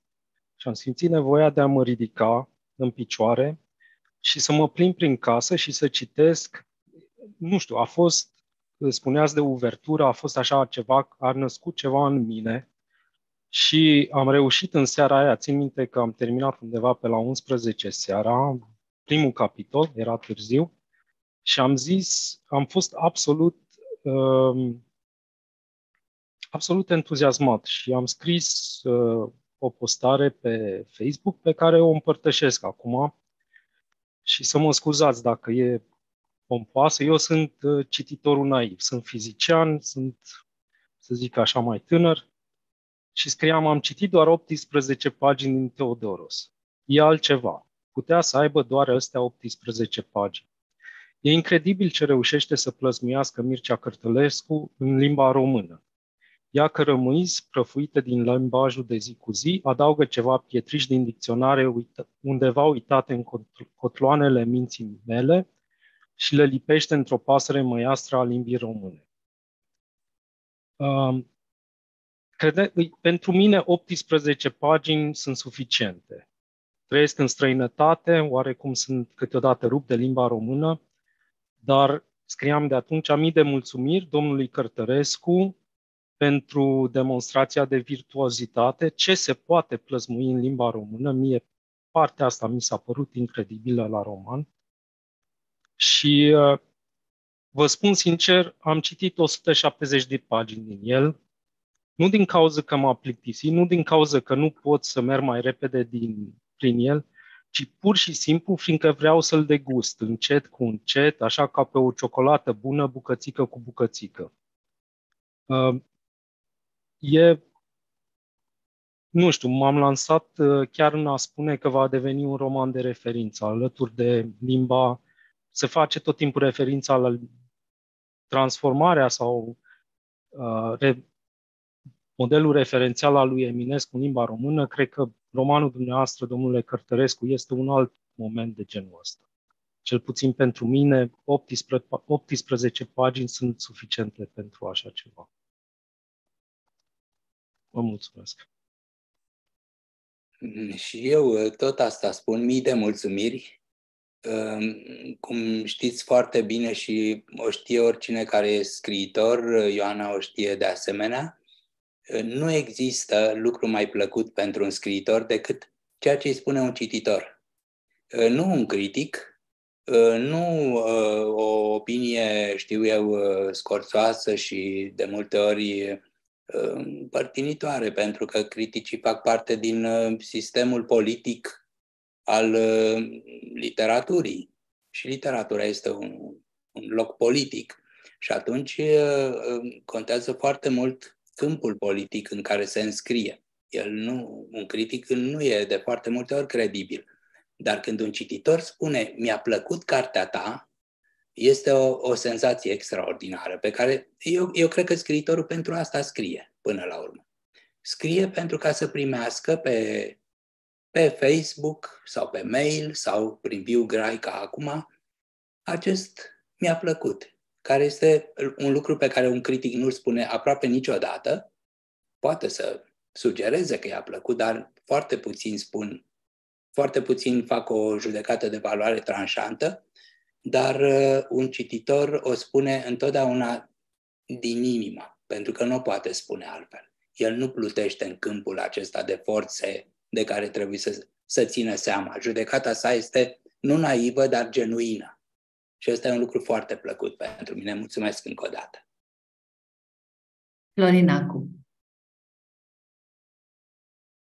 Da, domnule Cărtărescu, eu trebuie să recunosc că pe mine m-a izbit într-adevăr uh, acel topor uh, în creier, dar uh, este un lucru pe care de fiecare dată când vă citesc romanele ne aștept. Nu-mi plac textele care sunt, um, să zicem, prea facile, care nu-ți um, Uh, freacă un pic creierii. Pe de altă parte, continuând să o citesc, de altfel nu mi-a făcut nicio idee de la început, continuând să o citesc, um, acea furtună, acea uh, cascadă de, de concepte, de creștinism, de poveste, de istorie, m-a fascinat total. Iar în final, uh, ceea ce mi s-a părut uimitor, din punctul meu de vedere ca cititor, este faptul că eu am evaluat ca toate acțiunile lui Teodoros fiind o, uh, uh, un lucru în care a contat intenția. Extraordinar din punctul meu de vedere și, uh, uh, să zicem, uh, pentru mine, în final, cam asta a fost uh, ideea și uh, conceptul și filozofia, modul în care am citit cartea dumneavoastră. Vă mulțumesc! Mulțumesc și eu foarte mult! Pe YouTube ne-a venit o, uh, de asemenea o apreciere de la Paula, care spune am avut aceeași dificultate să ies din postura de cititor după ce am terminat-o. Cum să ies din vraja ecotropitoare și să pot, până, să pot pune mâna pe o altă carte. Asta apropo de comentariul dumneavoastră despre ce o să scrieți de aici încolo. Paula ne spune ce o să citesc eu de aici încolo. Cum ies din cartea asta să mă apuc de alta. Eu aș vrea să spun ceva despre ce spunea Ioana legat de limba acestei cărți. Uh, din perspectiva mea ca traducător în limba română. Împreună cu Grigore Vida am tradus ceva din limba engleză, el a tradus și din limba franceză și foarte adesea ne plângem unul altuia și colegilor noștri că limba română e o limbă săracă și nu are suficiente straturi. Și ca a traduce uh, filosofie de secolul XVII în limba română presupune, de fapt, să, aduci, să traduci în limba de secol 20. E, Teodoros ne arată că nu e chiar așa și că există o grămadă de straturi acolo, doar că nu ajungem noi la ele. Și, într-adevăr, Mircea Cărtărescu, ați făcut un fel de sinteză de straturi de limbă română. Pentru că nu e doar secolul XIX, e și un pic de secol XVIII, e și secolul 20. Da. Ne propuneți o nouă limbă română, îmbogățită cu toate aceste straturi? Am făcut-o și o să suport consecințele când o să vină vorba de traduceri. Uh, pentru că toate aceste lucruri pot părea foarte plăcute pentru un cititor român, dar cum să ajungă ele la un cititor uh, francez, italian, spaniol, nu mai zic uh, din alte limbi mai exotice, asta este altă întrebare. Um, dar dacă Levantul s-a putut traduce și există în patru limbi, uh, nu văd de ce nu s-ar traduce și Teodoros. Eu cred că Levantul avea dificultăți mult mai mari de traducere, pentru că, în primul rând, era în versuri, ceea ce nu, nu, nu știu câți erudiți ar putea să mai traducă în versuri în secolul 21, și în al doilea rând era um, foarte intertextual și foarte aluziv. De fapt, era o istorie vie, cum știți, a poeziei românești din secolul XVIII, 19 și din, uh, până, în interbe, până la Nikita Stănescu, de fapt. Uh, și atunci, firește că cititorul străin, necunoscând istoria poeziei românești, rămâne în aer. Nu înțelege toate aceste aluzii. Și, mă rog, am găsit eu niște subterfugii ca să fac cartea aceea cât de cât traductibilă și culmea că a avut și succes unde s-a tradus. Acum cu Teodoros aștept cu emoție traducătorii mei s-au apucat de lucru, mulți dintre ei, și uh, ei mi-au spus că merge și am o singură dovadă deocamdată și anume din, din partea spaniolă, unde Marian Ochoa de Ribe a tradus primul capitol și l-a dat editorului meu. Iar editorul meu, în ciuda a ceea ce am spus despre acest prim capitol, ca fiind uh, dificil și, mă rog, așa, uh, editorului meu i-a plăcut foarte tare și mi-a spus că așteaptă cu nerăbdare să citească mai departe. E prima mea confirmare din străinătate. Sper să fie așa. Sper ca în doi ani, cât durează traducerea, după doi ani să avem uh, niște variante străine ale acestei cărți. Va fi greu însă. Mhm. Până atunci să ne bucurăm de limba română pe care o citim în paginile acestui roman. Deocamdată da, deocamdată da. Cât despre, dacă îmi dai voie, Dana, cât despre întrebarea tinerilor legată de scurtimea frazei, Uh, literatura nu a fost niciodată o copie fidelă a limbii vorbite în acel moment, că atunci la ce bun literatura dacă nu depășește acest, uh, acest nivel. Uh, cei care vor citi, vor citi și frazele mai lungi. Nu o să Așa cum am, am sperat citind să vă arăt că au un ritm extraordinar, vă veți scula de pe scaun, cum spunea Luciana Ancu, și vă veți plimba prin casă în ritmul frazei care dansează. Concluzii. Ioana, ce ar fi să tragi tu niște concluzii? Mai avem 5 minute, așa că mai putem spune. Un roman superb care trebuie citit, despre care se vorbește în bordeie și în palate și uh, un roman uh, uh, care rămâne în istoria literaturii ce mai. Nu numai română, s-a văzut că n-am spus în istoria literaturii române, ci în istoria literaturii. Mircea Cărtărescu, ultimul cuvânt? Mai am și o întrebare filozofică. Oh, Grigore. M-a frapat că de-a lungul uh, acestei emisiuni ați vorbit despre dumneavoastră oarecum așa cum vorbește Platon despre poeți în Ion, nu în Republica.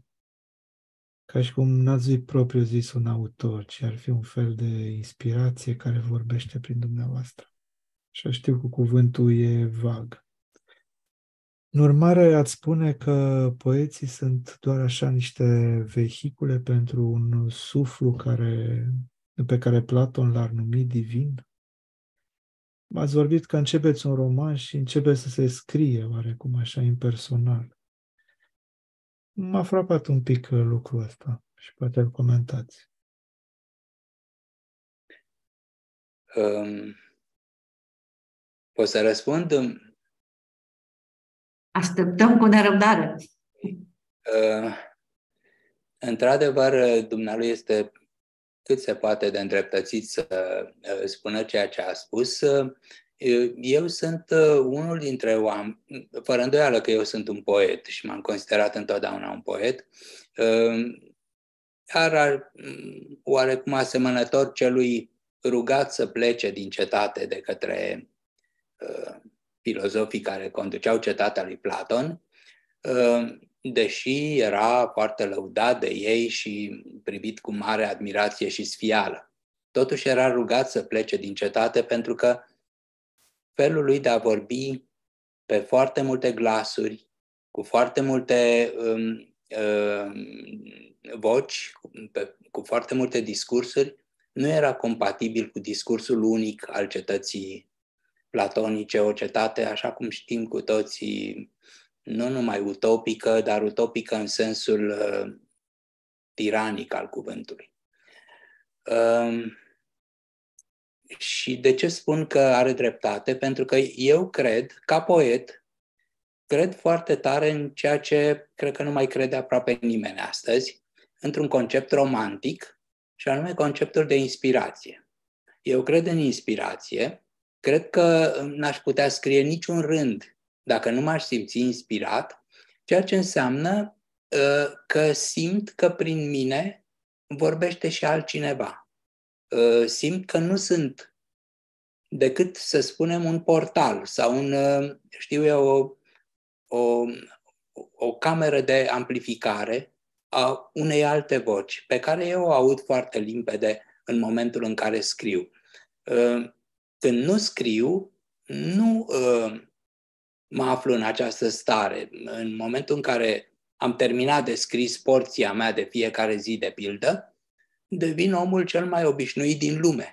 Nu am, mă duc la film, um, mă plimb cu soția mea, um, mă ocup de o grămadă de lucruri de care se ocupă toată lumea, în cultiv grădina, cum se zice, dar în momentul în care scriu, las lucrurile într-un fel, să curgă singure. Asta este ceea ce numesc inspirație. Este un, un fel de a scrie uh, care pentru mine este extrem de satisfăcător. Și anume, las loc pentru vocea altuia.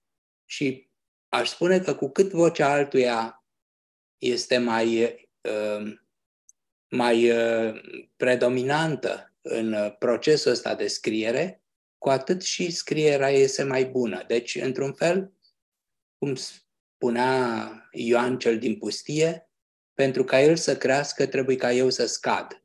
Și atunci eu încerc să scad cât se poate de mult. Dumnealui are foarte mare dreptate să vadă că, într-un fel, scrisul meu e oarecum impersonal. Ehm, nu mă privește pe mine însumi, de foarte multe ori, și mai ales în Teodoros, aș spune. Uh, las liber pentru o, pentru o lume, pentru lumea pe care o care vine de departe în mine, în, într-un fel. Mi-e foarte greu să explic acest lucru. E pentru povestea care se spune singură, nu? Totdeauna există prezumția aceasta de pacondă sau mai știu eu, de încercarea de a fi uh, mai original, dar de fapt ăsta este felul în care eu scriu și în felul în care am scris întotdeauna.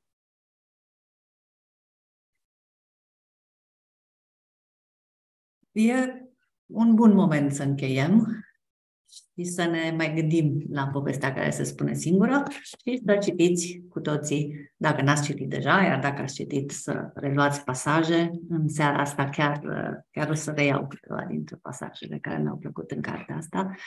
Mircea Cărtărescu, mulțumim mult pentru prezența la Cafeneaua Filozofică. Ioana Pârvulescu, mulțumim mult pentru perspectiva pe care ai adus-o uh, și care a, a zicem, salvat discuția.